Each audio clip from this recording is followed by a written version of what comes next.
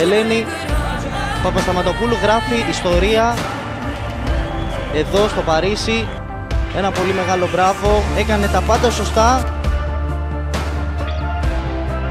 Η Ελένη Παπασταματοπούλου παίρνει το δεύτερο χάλκινο μετάλλιο.